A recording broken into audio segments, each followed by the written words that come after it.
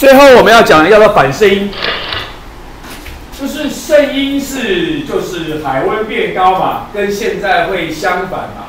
可是呢，反圣音就是倒过来，你本来低的会怎么样？更低。东边本来海温低，现在变得更低，更低，所以造成整个跟声音是颠倒过来的。中央气象局统一翻译成叫做反声音现象。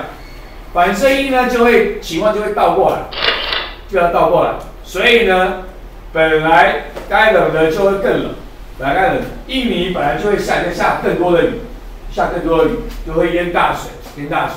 然后呢，另外一些该原来干的地方就会干。对，更更就就干燥啊，声音然后就就倒过来，就是反过来。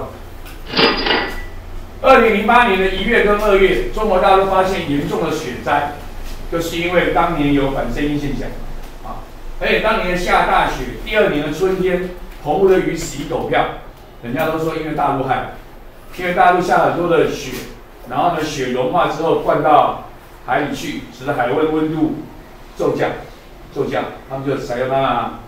再见，然后再见。所以反声音，OK，来看一下一个讲反声音的影片。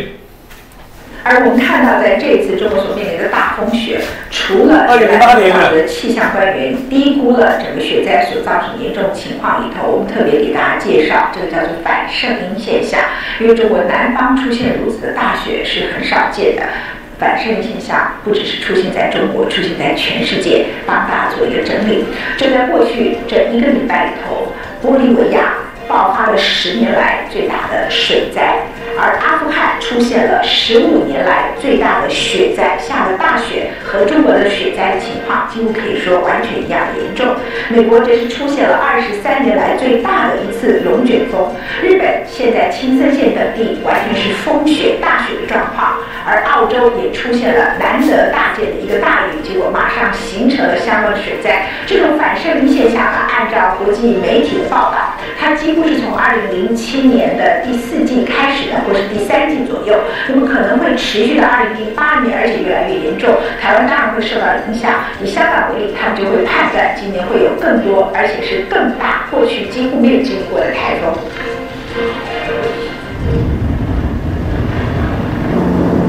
连续几月豪雨不断，河水暴涨冲破河堤，海拔三千公尺的玻利维亚几乎成了一片水乡泽国。Our house is just half covered with water.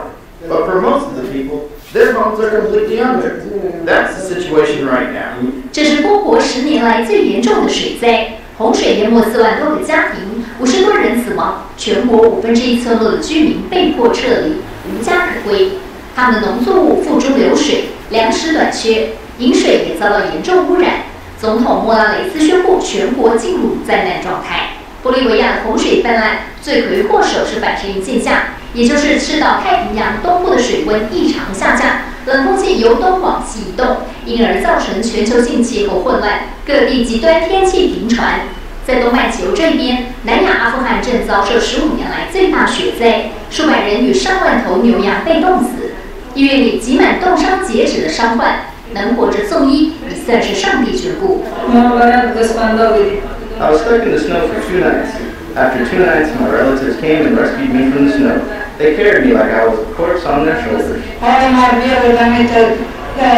I still need another surgical operation to call another frostbitten finger.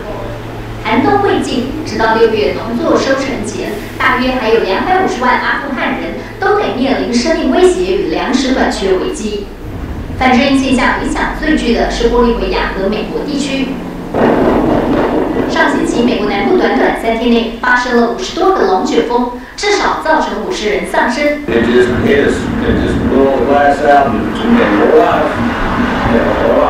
这是美国二十三年来最严重的龙卷风灾难，许多屋顶瞬间被风卷走，房屋倒塌，各州灾区满目疮痍。另外，去年底至今，多个州也频传暴雪灾情。联合国世界气象组织报告指出，反声音现象早在去年第三季就已出现，并且将持续到今年年中以后。预计要等到下半年脱离反声音，全球天气才会恢复正常。而今天的《明报》也特别报道，二零零七年所出现的这个反射音现象，英文就是 La Nina，在今年将会更趋的严重。自一九五一年，人类的历史记录是从一九五一年开始。